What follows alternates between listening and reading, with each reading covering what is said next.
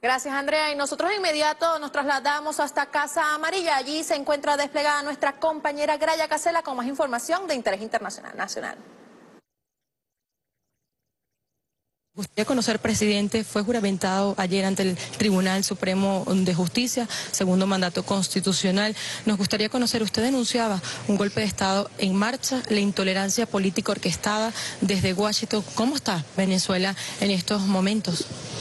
Bueno, primero que hemos tenido un día maravilloso, exitoso, ayer 10 de enero, con la participación masiva, plena del pueblo, impresionante, las movilizaciones populares que se dieron en todo el país. No solamente la que vimos en la avenida Baral, en el centro de Caracas, en Caracas, alrededor del Tribunal Supremo de Justicia, en la Academia Militar, que fue el pueblo también, sino que después yo me puse a chequear ya en la tarde, noche, y en todo el país hubo movilizaciones importantes. Es muy importante que el pueblo se mantenga movilizado. El pueblo movilizado es la garantía de paz, de estabilidad, de tranquilidad. Es la vacuna contra cualquier proceso de desestabilización, cualquier aventura, cualquier locura. Mientras nosotros estamos trabajando todo el tiempo, como estamos trabajando, hay mentes locas, mentes improvisadas, mentes inmaduras que están a la cabeza de la oposición y viendo a ver qué inventan. Desesperados, llenos de contradicciones, de locura. Y la mejor vacuna frente a las mentes inmaduras y alocadas, la mejor vacuna es el pueblo movilizado. Y la otra mejor vacuna de complemento es el gobierno trabajando. Hemos estado trabajando todo el día de hoy, estado atendiendo las delegaciones internacionales, varias delegaciones internacionales. Ayer en la noche también estuve revisando algunas, saludando algunas de las delegaciones que vinieron de más de 94 países. Bueno, vinieron todos los organismos internacionales importantes del mundo.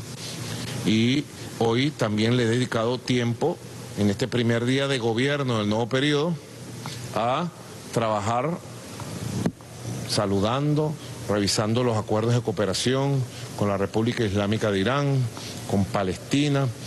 Eh, ahora voy a un encuentro con una decena de líderes, diputados, senadores, líderes políticos, sociales de toda América.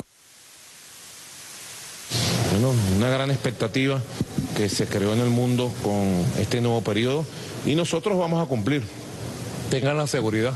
Venezuela tiene un solo destino, le digo a todos los venezolanos, nuestro destino es la grandeza, es la paz, es avanzar sobre la constitución, con la constitución. El próximo lunes voy a la Asamblea Nacional Constituyente a presentar mi memoria y cuenta, como manda la Constitución, a presentar el plan de la patria para que se convierta en ley constitucional de la República. Y voy a hacer importantes anuncios dentro del programa de recuperación económica, crecimiento y prosperidad. Gobernar, trabajar para que triunfe la paz. Presidente, también queremos conocer ante el asedio que sufrió la sede diplomática de Venezuela en Perú, cuál va a ser la respuesta del país y del gobierno bolivariano. Bueno, la respuesta ha sido muy contundente, de protesta. El gobierno de Perú no puede ni siquiera garantizar la seguridad de sus embajadas. Nosotros estamos haciendo eh, un recurso frente al organismo de Naciones Unidas y a la Secretaría General para que se garantice. Esto nunca se ha visto. Que se asalte una embajada de un país, nunca se ha visto. Se asalte la embajada de Venezuela en Perú.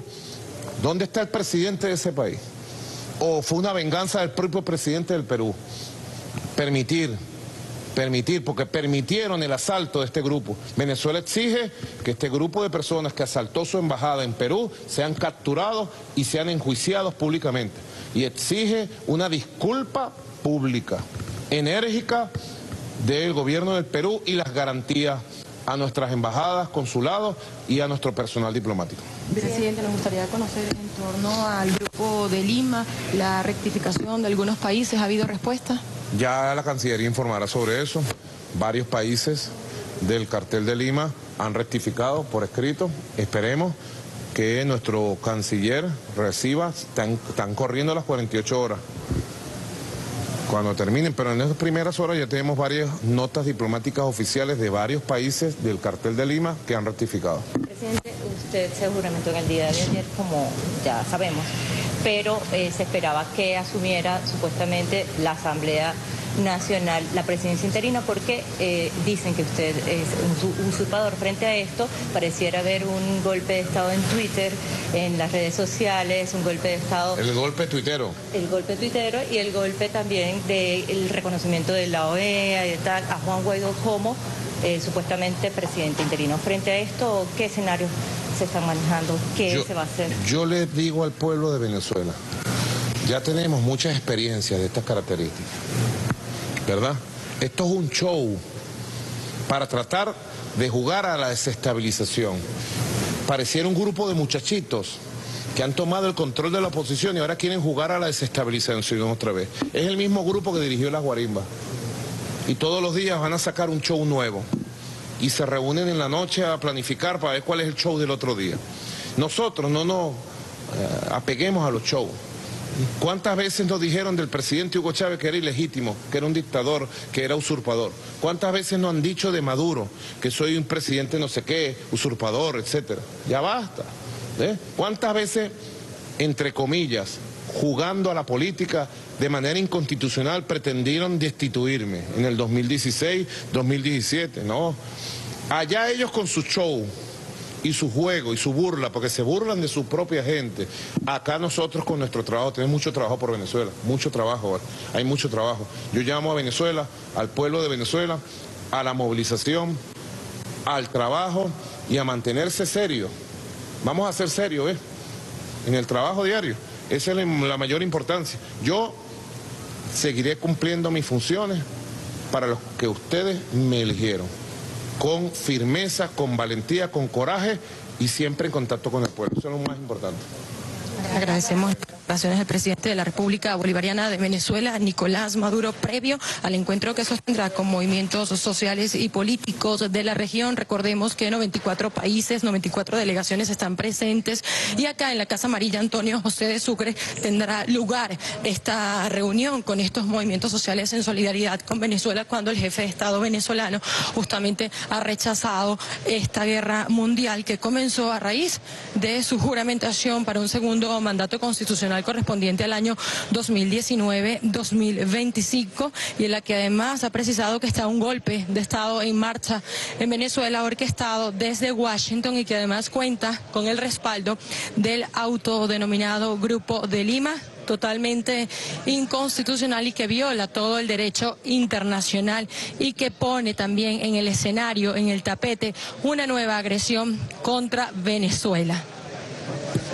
El presidente Nicolás Maduro además reiteraba que ante este escenario de conspiración y de desconocer la constitución y su mandato legítimo, Venezuela continuará apostando a su soberanía, así como también a la movilización de calle permanente por parte del Poder Popular. Ayer, durante su juramentación ante el Tribunal Supremo de Justicia, el jefe de Estado venezolano Nicolás Maduro hacía un llamado a los pueblos del mundo, de Latinoamérica, a las naciones latinoamericanas y del Caribe, a convocar también a participar en la de estados latinoamericanos y caribeños que es conformada por 33 países y que además solicitaba que en agenda abierta se ponga el tema de Venezuela para dar a conocer este esta agresión